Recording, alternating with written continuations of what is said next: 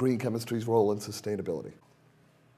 So we already talked about the definition of sustainability. I have to confess, I like um, the way I kind of paraphrase it: preserving what you can't live without and preserving it forever. Okay. So, sustainability is a centuries long perspective. The decisions you make are, are not short term. It's not about the next financial quarter, it's, a, it's not about the next election cycle. It's about centuries, you know, decades and centuries. So, if you were a resource planner and you were planning in 1914 what 2014 needed to look like, you would make sure that you had enough whale oil for lighting you would make sure that you had enough wood for fuel. You'd certainly want to have enough rock salt for refrigeration, and you better beef up on the horses for transportation because those horseless carriages things are never going to take off. Okay, what actually happened? These are the charts where the land used to feed horses peaked at 89 million acres uh, to less than 3 million in 1961 when they stopped keeping the records because it was irrelevant and useless. This is the uh, wood used as fuel. Uh, these are all from Department of Commerce. Went from a, a, high of 5 billion cubic feet in 1900 to less than 500 uh, million acres in 1970 when they stopped keeping the records because they weren't crucial to the economy. So when you there was this great uh, New York Times article, I believe it was in 1896, that talked about the, uh, the increase in horses for transportation in Manhattan. And they projected the increase in population, and therefore the increase in horses to transport people, and the increase in the natural byproduct of horses on the streets of New York. And they projected that in just a few years, the, the average height of that natural byproduct was going to be taller than the average person. So what happened? Oh, this is at a time when the environmental technology was a bucket and a shovel, okay? So what happened? Did they ban horses? No. Technology intervened to change the equation, uh, change the trajectory that we were on. You can argue about whether or not cars were the, uh, and, and, and uh, trolley cars and things like that were the best uh, long-term solution. But science and technology intervened to change that unsustainable trajectory. So when we start looking at the great challenges of sustainability, everybody can have their own list, but certainly um, population has to be up there, right? So we're talking that, uh, let's see, since around when I was, I was born, we've more than doubled the population. We went from 3 billion to over 7, okay? Um, and the past... Uh, whatever, 60 years, we tripled the population. And where is that population growth happening? These are the richest nations of the world. These are the poorest nations of the world. Okay, great. So that tells us that what we have to do is increase the state of development of the poorest nations of the world. That will bring about higher quality of life, higher state of development, higher learning, follows uh, uh, almost always follows higher empowerment and education of women, and you bring about a stable population growth. What's the problem with that? The problem with that is that historically, coupled with increase of state of development, has been increased resource depletion, environmental degradation. All right? So the challenge becomes how do you increase the state of development, the quality of life, while reducing the detrimental effects, the detrimental effects of, uh, uh, of this economic growth, avoiding the resource depletion. Last I checked, that's exactly what green chemistry and green engineering is all about. How you decrease the, the adverse consequence, the hazard, the toxicity, the pollution, while getting higher performance. That's what we're going to be talking about this whole semester, is how do we manifest this? This is not going to be theory. We're going to be seeing countless examples of how we're achieving exactly that. So, what we want to do is get uh, the higher state of development and do this kind of leapfrog technology. And we're going to talk a lot about leapfrogs, and I'm going to want all of you to know about some of the leapfrog examples. Okay. Um, this is one of my favorite of all of uh, uh, President Kennedy's quotes that the great enemy of the truth is very often not the lie, deliberate, contrived, and dishonest, but the myth, persistent, persuasive, and realistic. So there's a mythology that you can't have economic development, you can't have growth, you can't have increase in jobs, you can't have uh, uh, increased quality of life unless you're going to essentially destroy the environment, use toxic substances. Green chemistry is belying that myth every day. I'm going to talk to you a little bit about some of these. So let's talk about uh, energy. Everybody knows, and this room knows, that the vast majority of our energy uh, in the world today is generated uh, from non renewable sources. Uh, all right. So, this is the projected increase in consumption of energy over time. These are the projections. And this is what is projected to be the portfolio of energy. Still oil, still natural gas, still coal.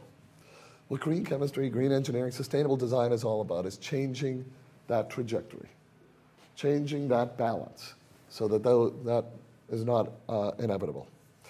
All right, so it's looking at developing alternatives for energy uh, uh, generation, everything from photovoltaics, hydrogen generation, fuel cells, bio-based.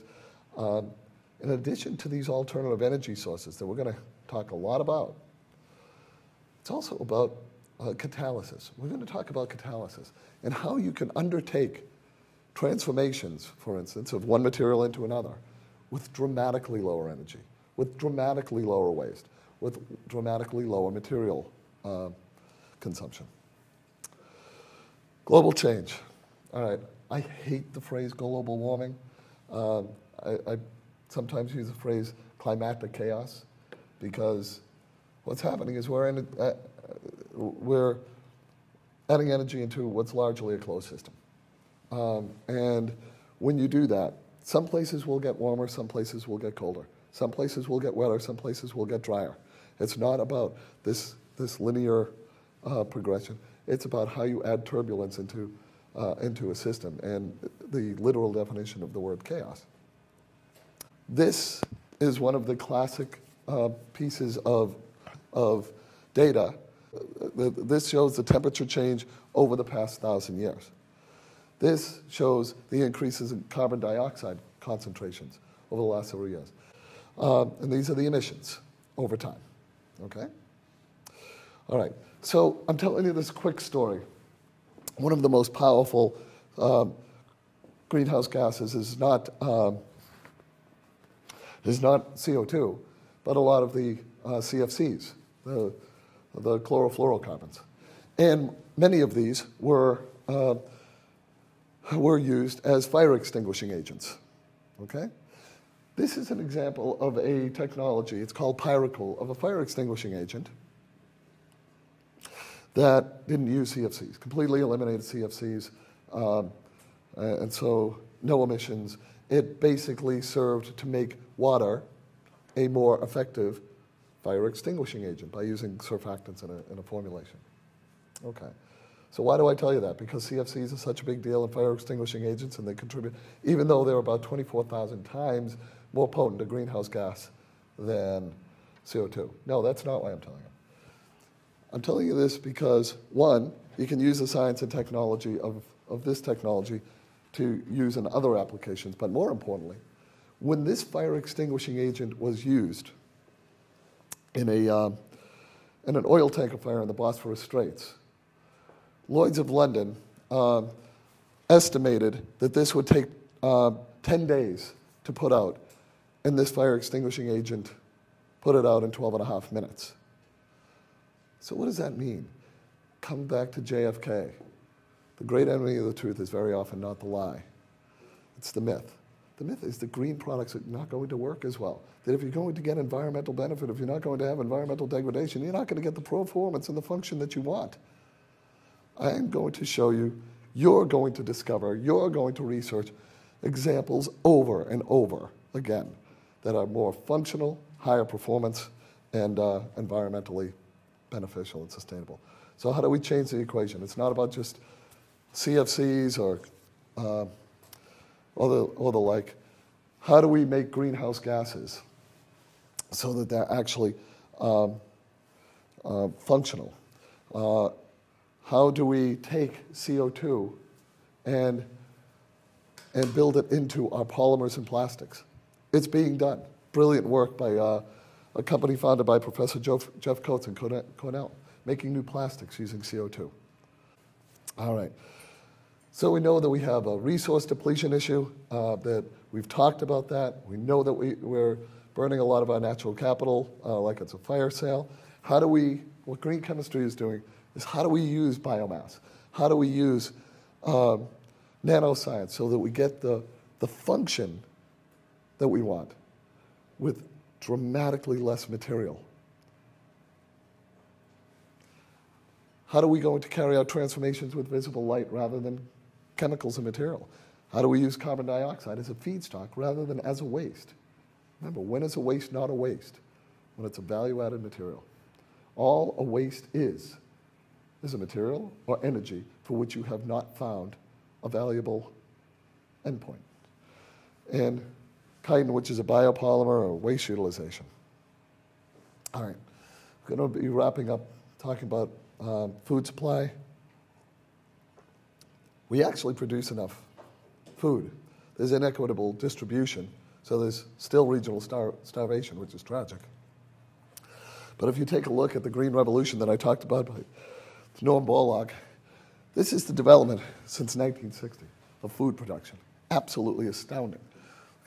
Food production in developing countries um, and industrialized nations both. You have to ask the question how did it happen?